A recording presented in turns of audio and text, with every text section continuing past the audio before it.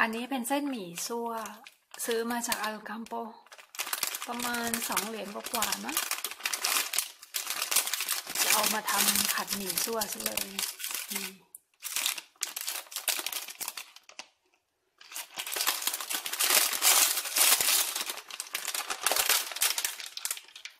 ซานาโอเรีย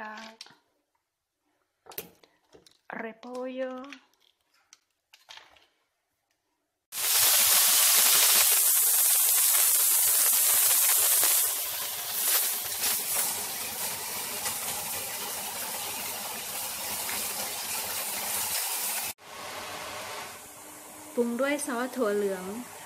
แล้วก็เติมเกลือไปเล็กน้อย